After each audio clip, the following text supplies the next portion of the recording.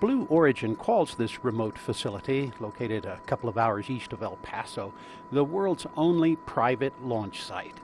The nearest town, Van Horn, Texas, about 2,000 people, is about 30 miles away, allowing plenty of elbow room for testing sometimes explosive space systems. It sits on a sprawling and flat desert floor surrounded by some arid mountains, much like the government launch and test facilities in other parts of the West.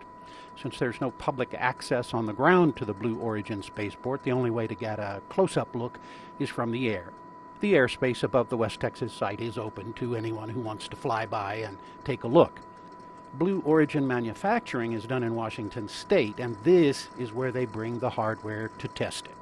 This is where the company's New Shepard spacecraft recently flew on its first unmanned flight into space, and the capsule parachuted back for a landing.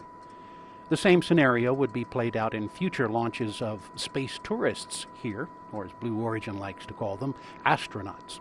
A new online marketing campaign at the Blue Origin website includes details and videos showing how the tourism flights will be done, and you can sign up to be notified when tickets are available. Engine test stands here allow for safe testing of Blue Origin's own designs for engines. A giant new stand will test the latest and biggest engine design, the BE-4. That's being developed for larger boosters capable of lifting spacecraft into orbit. Locals say the activity here and in town runs in cycles. Lots of folks here and things happening when something is being tested, and then it gets quiet for weeks or months at a time till the next task brings in the rocket scientists and technicians again.